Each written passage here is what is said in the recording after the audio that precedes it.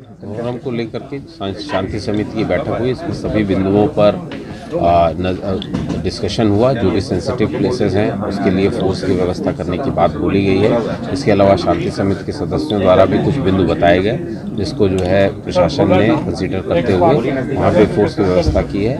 मुहर्रम के दिन या उससे पहले भी जितनी भी जगह हैं, पुलिस की क्यू टीमें और पुलिस बल वहाँ पे मौजूद रहेगा और हम लोग इस बात की नज़र रखेंगे कि किसी भी तरीके की कोई प्रॉब्लम नहीं होने पाए। विशेष करके जो लाउड स्पीकर है और बाहर से आने वाले शहर में जो जुलूस हैं, उन पर विशेष निगाह रखी जाएगी, क्योंकि ऐसा माना जा रहा है कि कभी कभी ऐसी घटनाएँ हुई हैं जो बाहर से आने वाले लोगों के द्वारा की गई हैं। उन लोगों को हम लोग विशेष तौर पर निगाह रखेंगे। लाइसेंसधारियों को ही जिम्मेवार बनाया गया है। और उन्हीं यदि कोई बात होती है तो उनको पूर्ण रूप से चिन्हित किया जाएगा। ग्रामीण क्षेत्रों में से माहौल खराब होने की जो सूचना आती है उस पर किस तरह से पुलिस की हर एरिया में हर सर्किल लेवल पे जो कि तीन से चार थाने के बीच में रहते हैं हैं वहाँ पर यू टीमें रहती हैं इसके अलावा फोर्सेस भी रहती हैं और हम लोग इस बात को कहते हैं कि कहीं कोई प्रॉब्लम होती है तो तीन से चार मिनट पे वहाँ पर अतिरिक्त फोर्स पहुँच जाने की बात हम लोगों ने हमेशा पहले की है और अगर ऐसा होता है तो उसको बहुत ही कड़ाई से निपटाया जाएगा।